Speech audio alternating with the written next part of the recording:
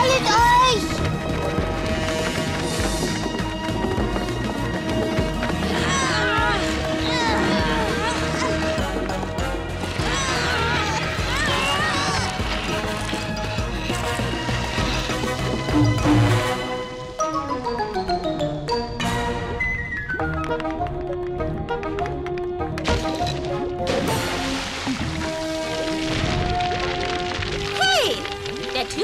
Wohl nicht mehr alle. Wird ja nicht frech. Macht, dass ihr hier verschwindet, Kinder. Hier ist es viel zu gefährlich für euch. Ihn redet? Der Baumstamm war nicht für uns gedacht. Der war für dich. Wir wollten dich retten. Ihr wollt mich retten?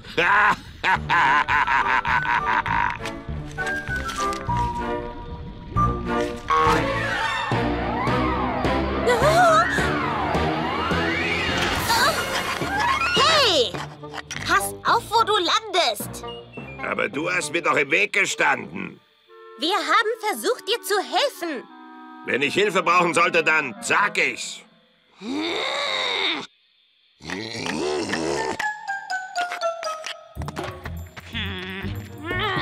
Zera!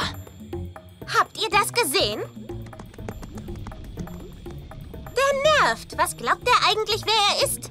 Mein Name ist Skattel und ich bin ein steinaltes Schalentier. Und wer seid ihr eigentlich? Also, ich bin Littlefoot. Wie kommt es, dass du reden kannst? Wir haben noch nie einen Sandkneifer gesehen, der spricht. Aha, alle Kneifer können reden. Aber nur der alte Skattel weiß, wie man mit Blattfressern redet. Ich war nämlich schon überall und habe alles gesehen. Wir wollen herausfinden, warum die Kneifer ins große Tal gekommen sind. Das hat euch also hergetrieben. Sie sind abgehauen, weil der rauchende Berg Feuer spuckt. Diese feigen Kneiflinge, dabei ist der rauchende Berg völlig harmlos. In ein paar Tagen ist alles vorbei, das könnt ihr mir glauben. Das erinnert mich an eine Geschichte. Als ich noch ein junger Kneifling war, da spuckten drei Berge und nicht nur ein Berg Feuer in den Himmel. Na toll. Er redet nicht nur viel, er redet zu viel. Zera, mach ihn nicht wütend. Wieso nicht? Er hat doch einen Knall. Wenn der Berg nicht mehr raucht, dann können die Sandkneifer wieder zurückkommen. Ach ja? Ja, irgendjemand muss ihnen das sagen, Zera. Und du weißt ja, dass niemand von uns die Sandkneifersprache spricht. Na und? Also brauchen wir Skattels Hilfe oder die Sandkneifer werden niemals das große Tal verlassen, klar? Ja, ja, du hast recht. Entschuldige bitte, Skattel. Wie war das mit den rauchenden Bergen? Ich sagte gerade nicht einer, nicht zwei, sondern drei Berge spuckten Rauch und Feuer. Alles noch mal von vorn. Sieh mal, Spikey, da ist Schnapper. Hallo, Schnapper. Und da sind Shelly und Kracher. Du kennst doch Kracher? Er hat die größten Kneifer. Jap, jap, jap. Ah,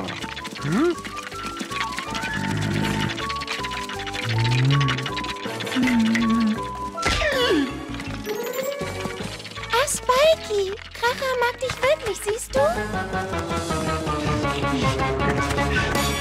Ich kann euch sagen, das waren rauchende Berge. Oh ja, das waren sie.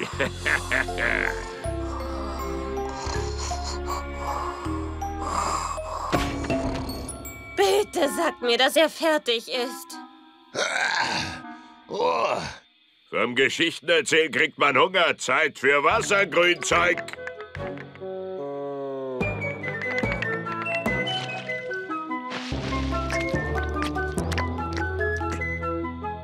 Los, kommt! Fragen wir Skattel, ob er mit uns mitkommt und mit den Sandkneifern spricht. Na ja, wenn's sein muss. Das könnt ihr knicken. Ich komme auf keinen Fall mit ins große Tal. Aber nur du kannst mit den Sandkneifern sprechen. Bitte.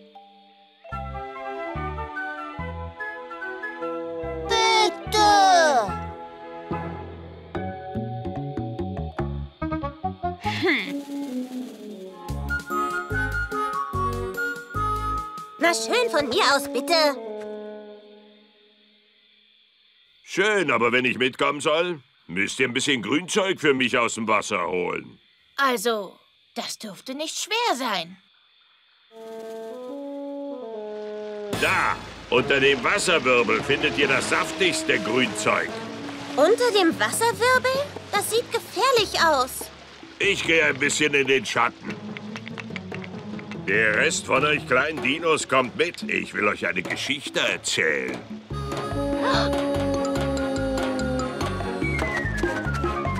Ich hol ihm sein Grünzeug.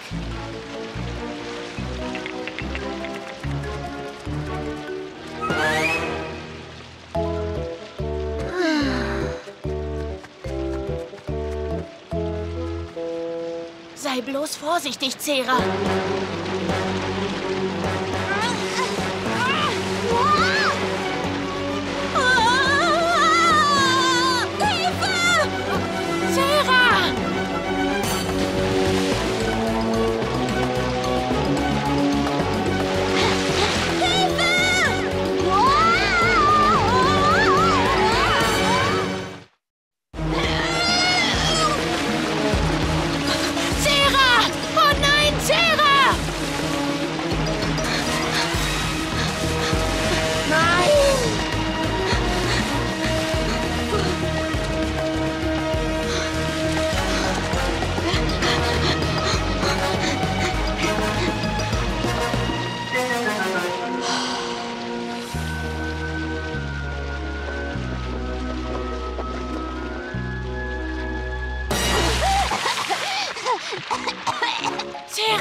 Alles in Ordnung?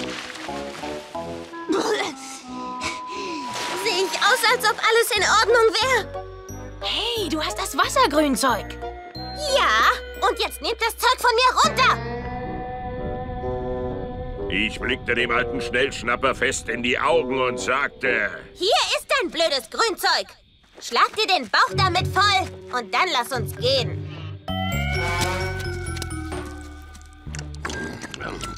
Ah, dieses Wassergrünzeug hat ein herrliches Aroma.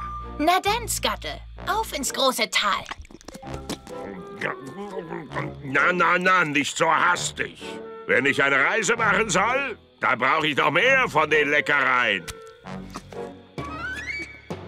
Hast du sie nicht mehr alle? Was denn? Mit einem hungrigen Magen ist ganz schlecht krabbeln. Spar dir deine blöden Sprüche. Zera, wir brauchen Skattels Hilfe. Schön, wir holen dir noch mehr Wassergrünzeug. Blöder, angeberischer, Grünzeugfressender Sandkneifer! So werden deine Geschwister niemals einschlafen. Schaffst du es, dass sie leiser sind? Ich versuch's mal, Mama. Klapper, Schnuffel, ihr müsst jetzt leise sein. Ich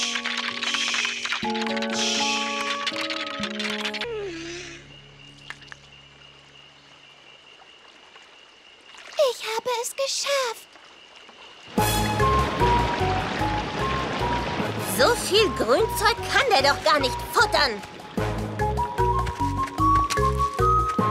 Dich wieder ab, Zera. Wir haben gemacht, was Skattel gesagt hat und jetzt macht Skattel das, was wir ihm sagen.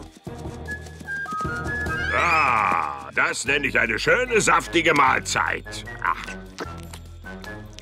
Na dann können wir ja gehen. Na, na, na, nicht so hastig, Matrose. Bevor wir in See stechen, ich meine in Land, müsst ihr mir noch einen kleinen Gefallen tun.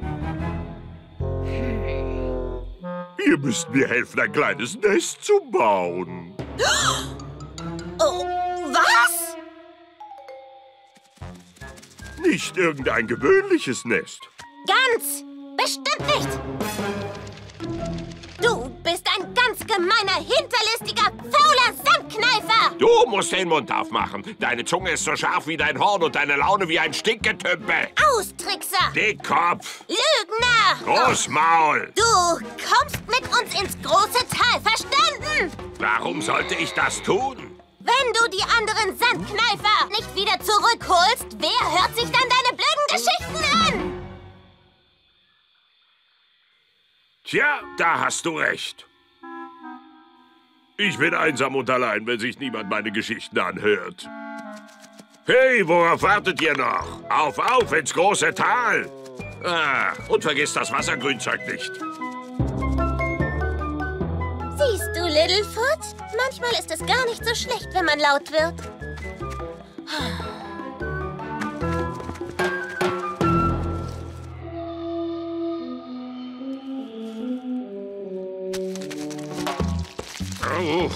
Verflixte Sandkneifer. Die sind ja überall. Hey, Kniffel, da bist du ja. Komm, hier geht's lang. Jetzt habe ich aber genug von diesen lästigen Krablern. Der Nächste, der mir in die Quere kommt. Scuttle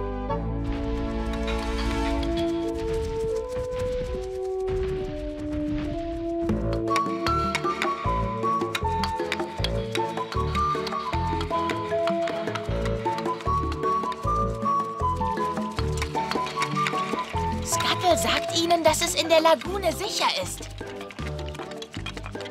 Es gibt gute Neuigkeiten, Freunde. Die Sandkneifer kehren in ihr altes Zuhause zurück. Das wurde aber auch Zeit.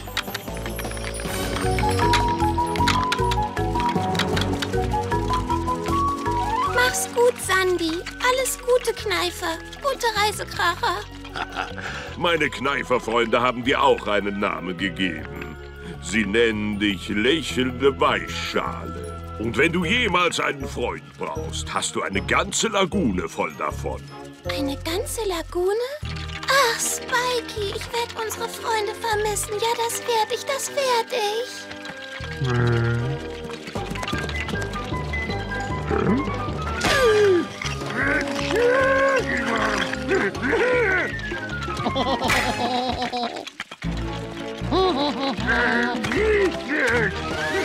Naja, der alte Scuttle hasst nichts mehr als einen langen Abschied. Also sag ich einfach, macht's gut. Macht's mehr als gut. Wir werden uns wiedersehen.